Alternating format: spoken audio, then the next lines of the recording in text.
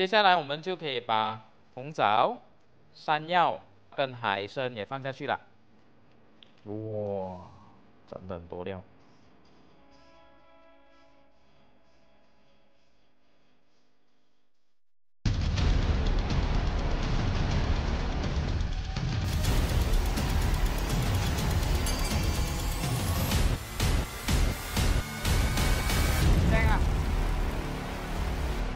Hello，大家好，我是邱师傅。那这一期呢，就跟大家分享一道非常健康的汤类——金钟山药海参鸡汤。这一道汤啊，可以帮助我们的血液循环啊，提高我们的免疫力，而且有美容的功效的哦。好，那首先我们就来看看我们有什么材料啊。我们有一粒的金瓜啦，这个金瓜呢，目的我们是要拿来做那个金钟的啊，所以我会把它切开，然后把那个汤放在里面。然后呢，这个山药大概是两百克，四粒的红枣。再来适量的姜片，两条海参，还有一根葱。最后呢，我们还有一个已经是呃清理了没有骨没有皮的鸡腿肉。那鸡腿肉呢，吃下去就比较滑，因为今天我们煮的是健康汤，所以呢那个皮我就把它去掉啊，尽量少油就少油。好，那首先我们第一步要处理的呢，就是这个青瓜盅啦。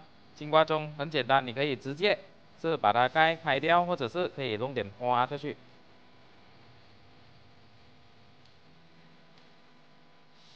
嗯，把它重复的斜刀切。如果你要它这一个芽看起来是密一点的呢，就切小一点啊；不要这么密的呢，就可以切大一点啊。按照你们个人的喜爱就可以了。好，那现在接下来的步骤呢，我们就是要把啊金瓜里面所有的种子给它挖出来。哦，这个钙呢不要浪费哦。如果我们是没有刺的话，可以把它打成泥，然后我们可以做甜品啊，或者是滚汤之类的。这里呢，我们就把它再修一修，给它有更大的空间来装它。OK，这样就可以了，金钟完成。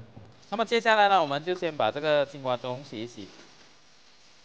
洗一洗之后呢，我们就啊沥给它干，山药。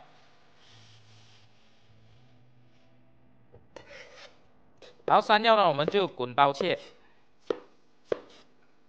再来呢，就是我们的海参了，切成一小块一小块的。然后接下来就是葱花，最后就是鸡腿肉。鸡腿肉我们就不需要切到太过小块的。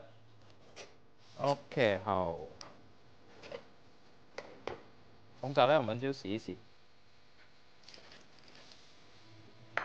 OK，这里我们给少许油下去。我们先煎一煎鸡肉。OK，把姜放下去。然后呢，我们就可以加入鸡肉了。先把鸡肉煎香。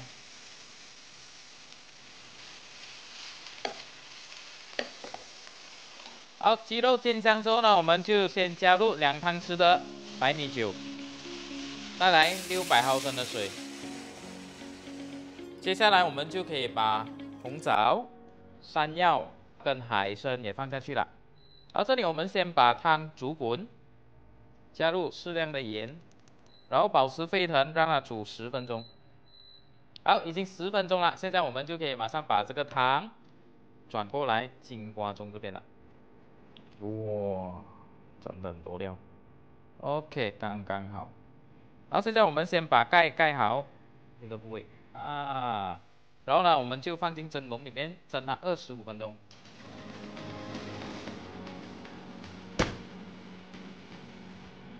好，已经二十五分钟了。我们先把这个金钟取出来。哇，好，把金钟打开，再加上少许的葱花。好，金钟山药海参鸡汤完成。那么这一个金瓜盅啊，就是一个展示来的。如果大家是觉得啊不需要，或者是觉得浪费的话，就可以放在碗。如果是喜欢吃金瓜的朋友啊，可以把这金瓜切一小块一小块，把它放下去一起煮就可以了。那么这一道汤呢是非常有营养的，希望大家会喜欢。把我的 video share 出去，给我一个赞，期待你们的功课。